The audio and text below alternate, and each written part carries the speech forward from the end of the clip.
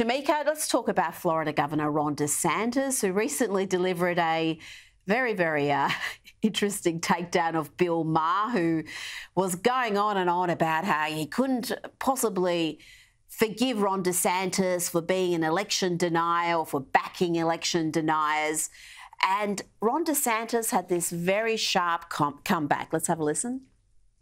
But you campaigned for, for election deniers in 2022. This I do not forgive.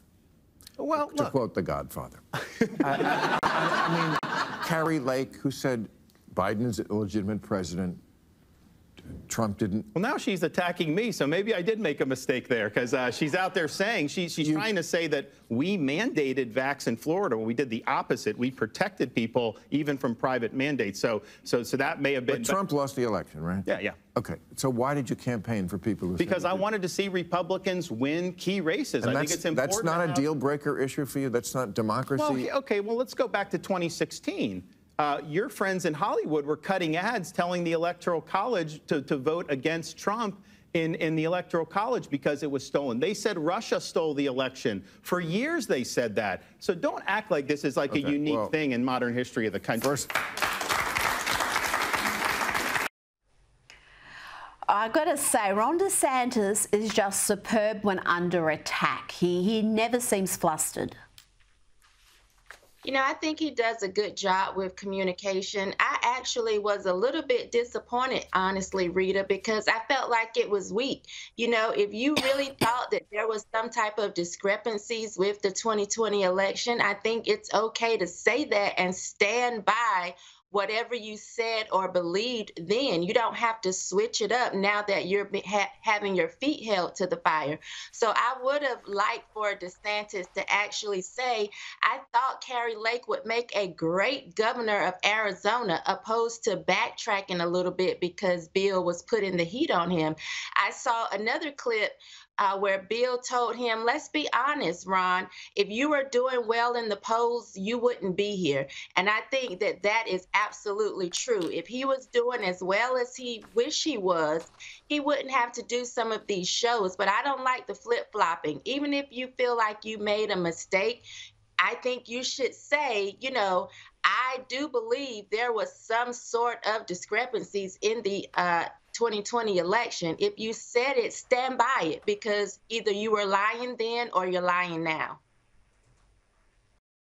Well, he's coming second in, in the race to Donald Trump, and he's the one man I want to ask you about next. He's uh, delivered a savage take on pop star Taylor Swift's latest romance with Chiefs tight end Travis Kelce. Uh, the media frenzy surrounding this developing relationship is intense, Shemeka. Um, we've had Taylor Swift attend another Chiefs game, this time with a bunch of her Hollywood mates, including Hugh Jackman. Now, this quote from Trump is just classic, classic Trump. He said, I wish the best for both of them. I hope they enjoy their life, maybe together, maybe not. Most likely not. That's been interpreted as rather harsh, but Shemeka, I think um, he's probably going to be on the money there. For sure, I, because I think it's just a, a plot, a ploy, you know, to actually push liberalism or push left leaning policies. Kelce is also now pushing the vaccine. He's pushing a card with the one of the credit people here in America, Experian. And so it to me is just all orchestrated to keep us focused on ridiculousness opposed to the issues that we need to honestly be paying attention to, such as illegal immigration, such as these high gas prices or high grocery prices, the way that Americans are struggling every day because of the, the shambles, if you ask me, that the economy is in.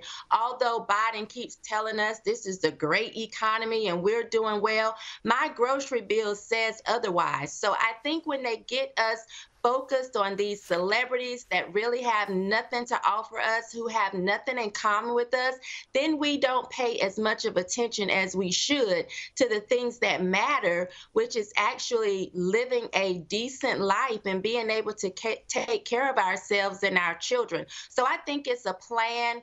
I don't think that they'll be together long, you know, past the football season. It's a distraction and it's doing exactly what it's supposed to do distract people from the real issues.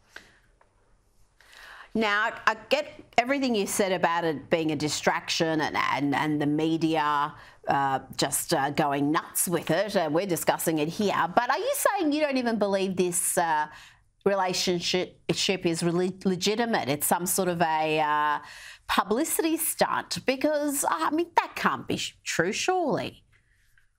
Yeah, I think it's a publicity stunt. You know, Travis hasn't even been uh, interested in these type of women, and Taylor bounces from man to man, and she's so left leaning. She doesn't want a man that's actually going to tell her what to do. She is a left leaning feminist, and so I just don't think she's going to be here long. She's been unmarried for so long, something must be wrong with her. So, yes, I do think that this is a publicity stunt and that it, it won't last long at all. I just don't see it happening. Shemeka, I, no, I'm sure it's uh, real love. It may be temporary love, but uh, surely it's real. Uh, Shemeka Michelle, thank you so much for your time today. Thank you, Rita.